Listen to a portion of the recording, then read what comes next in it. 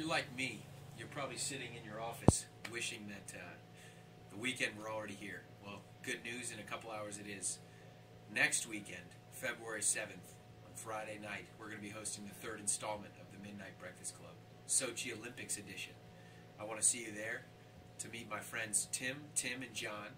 We're going to be serving a fresh breakfast, and it's going to be a great party, and there's going to be tons of American pride. See you soon.